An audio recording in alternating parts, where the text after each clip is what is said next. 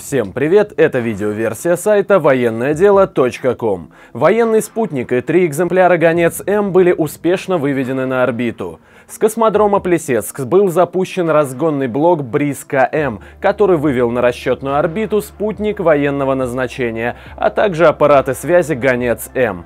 Данную информацию сообщает Министерство обороны Российской Федерации.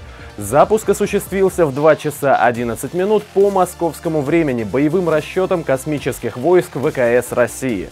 По имеющейся информации, процесс выведения аппаратов на орбиту произошел в штатном режиме. Следует отметить, что данный космический пуск стал 25-м по счету в 2019 году и завершил серию намеченных на текущий год. Все запланированные пуски прошли успешно. Стоит упомянуть, что Россия заняла в 2019 году третье место по количеству запусков космических аппаратов, уступив США и Китаю.